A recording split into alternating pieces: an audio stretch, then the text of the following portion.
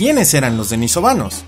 Al noroeste del macizo montañoso de Altai, ubicado en territorio ruso, se encuentra una cueva llamada Denisova. Originalmente se pensó que los subfósiles humanos encontrados en Denisova eran todos de neandertales, pero estudios más meticulosos mostraron que la cueva había sido habitada por diferentes especies humanas.